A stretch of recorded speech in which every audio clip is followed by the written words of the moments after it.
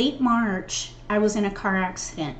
I was on the highway and it was a great a beautiful day so there was no rain or anything like that but there was a one of those really quick backups on the highway and I was too close to the car in front of me and I ran into their back right bumper so the front left of my vehicle was smushed and the back rear or right bumper or the front left of my car and the back right of his car, a Mercedes, I believe it was.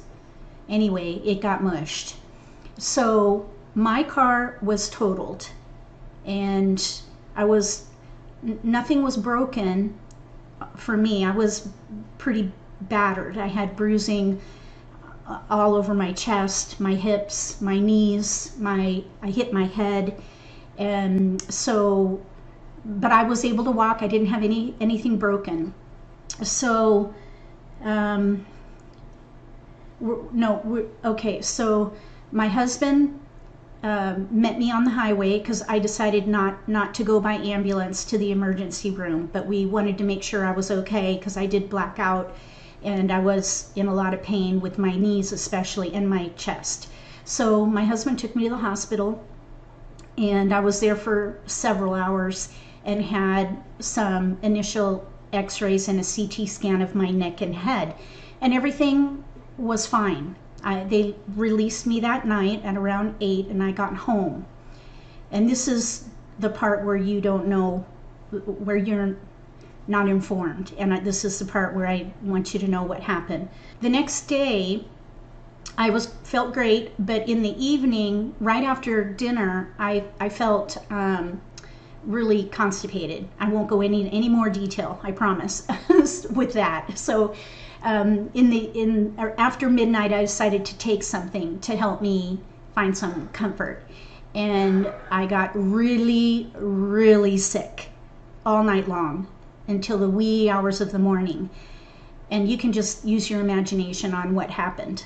Um, so I finally got to bed at around 5:30 in the morning and then a couple of hours later I got up and there was bleeding from my nether regions. And again, I won't go into detail. So I called my doctor and made a telemed or made an appointment, but they said go to the emergency room. So I went to the emergency room and they did a CT scan of my abdomen and the findings with the findings they admitted me.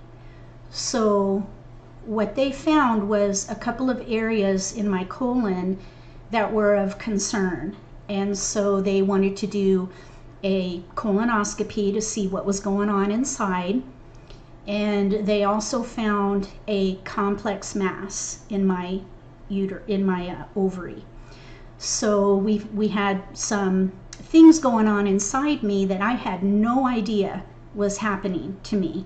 I mean, I, I haven't had no symptoms whatsoever until that Monday morning. And then it got scary real quick. So, uh, a couple of days after being treated with IV antibiotics, and I had uh, was extremely low on potassium and things like that. So I was on a lot of IV bags for several days and they they um, I did the colonoscopy and they found uh, they biop- took biopsies and so I went um, probably two weeks waiting to hear what was going on with my colon and the report from the colonoscopy was not good it was scary thankfully the biopsies showed no cancer or precancerous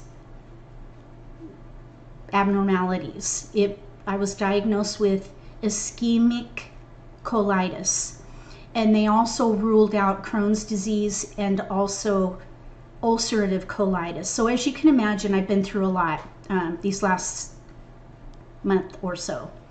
Uh, now, with my the mass in my ovary, my um, th- there's um, some concern for ovarian cancer. We're not sure. We're, we're cautiously optimistic because my numbers are elevated, but they're not really high. They're just slightly elevated. So, in an abundance of caution, I am being seen by an, a gynecologic oncologist.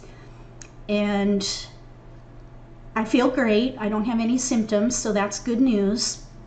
Um, and we won't know anything until after the surgery and the pathology as to what what the mass is, but it is complex and it's large.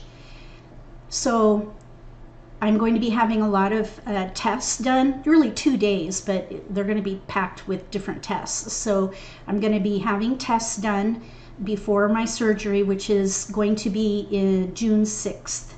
June 6th, that's when I'm going to be having the surgery where they're going to remove my ovaries.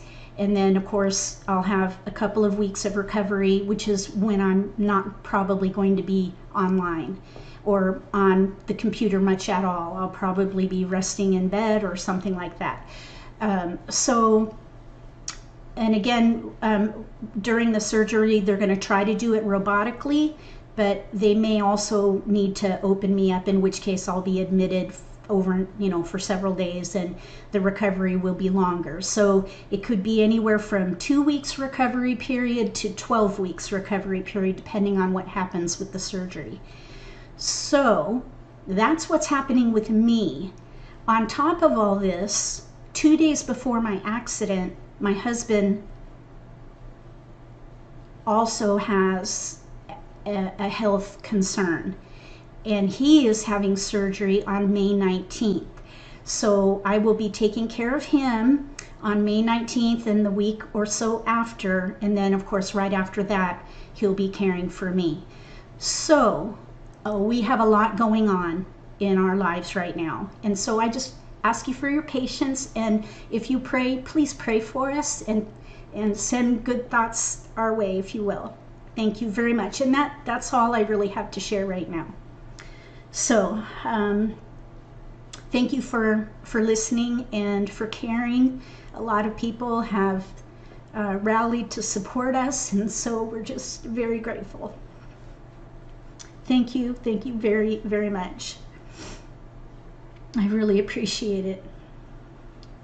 And um, I think um, I'll just be, what I'm thinking about doing is maybe doing some kind of updates to keep you all posted as to what's going on? Because I you mean a lot to me all of you do.